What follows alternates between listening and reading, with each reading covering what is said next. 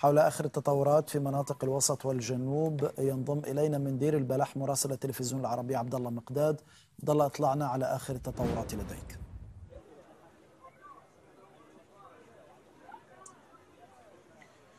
نضال يعني وتيرة القصف كانت كبيرة منذ الصباح في وسط وجنوب القطاع. آخرها كان في منطقة البركة حيث وصل الشهيد إلى مستشفى شهداء الأقصى بمدينة دير البلح وسط القطاع. سبق هذه الغارة أيضا استهداف لمجموعة من المواطنين في منطقة النصيرات وسط القطاع. استشهد ثلاثة فلسطينيين وتبعها أيضا استهداف لأرض زراعية في المنطقة الغربية من مخيم النصيرات وسط قطاع غزة. بصورة عامة وتيرة الاستهدافات لا زالت مستمرة خاصة في المناطق الغربية من مخيم النصيرات والشمالية الغربية تحديدا في منطقتي الزهراء والمغرقة اللتان لا زالت تسمع فيهما أصوات الانفجارات المستمرة والمتواصلة منذ أكثر من ساعة. المنطقة الجنوبية من قطاع غزة تحديدا مدينة خان يونس في الشرق منها لا زالت قوات الاحتلال الإسرائيلي هناك تواصل عملياتها العسكرية بشكل موسع وكبير.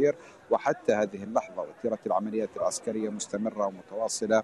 في هذه المناطق القصف المدفعي لم يتوقف الغارات الجوية كذلك وعمليات إطلاق النار من قبل الآليات العسكرية الإسرائيلية التي تواصل عملياتها العسكرية في أكثر من محور في المناطق الشرقية والجنوبية الشرقية من قطاع غزة. مدينة رفح أيضا تتواصل هناك العمليات العسكرية الإسرائيلية ولا زال الجيش الإسرائيلي يتواجد في أكثر من محور لا سيما المحور الحدودي وأيضا المناطق الغربية والشرقية والشمالية الشرقية من المدينة. اليوم انتشلت الطواقم الطبية جثمان أحد الشهداء من منطقة مصبح في شمال شرق مدينة رفح وتمت عملية نقله إلى مجمع ناصر الطبي نحن نتحدث حتى هذه اللحظة منذ ساعة الصباح وحتى الآن عن قرابة العشرين شهيدا في وسط وجنوب القطاع جراء الغارات الإسرائيلية المستمرة والمتواصلة على أكثر من منطقة في وسط وجنوب قطاع غزة.